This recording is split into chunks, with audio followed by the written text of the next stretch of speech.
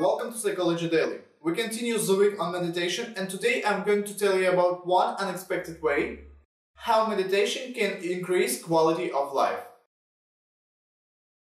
Let's start. Many veterans from Operation Enduring Freedom in Afghanistan or Operation Iraqi Freedom in Iraq suffer from pronounced post-traumatic stress disorder.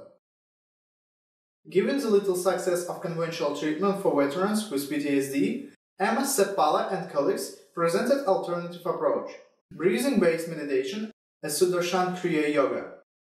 To test whether it can help, they recruited 21 veterans with service in Afghanistan or Iraq, and half of them trained Sudarshan Kriya Yoga and another half were control group. Before and after 7 days with every day 3 hour long group sessions, their breathing, startle reflex were measured.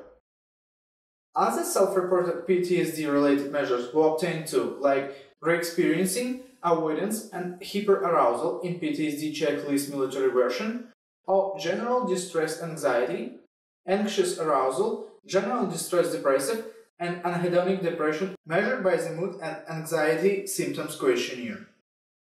They were obtained one month and one year after intervention as well. The active group showed reduction in PTSD scores for experiencing and hyperarousal, as well as for anxiety symptoms, general distress anxiety, and anxious arousal. Moreover, active group showed reduced respiration rate, while the control group did not. Reductions in startle correlated with reduction in hyperarousal symptoms immediately post-intervention and at one year follow-up.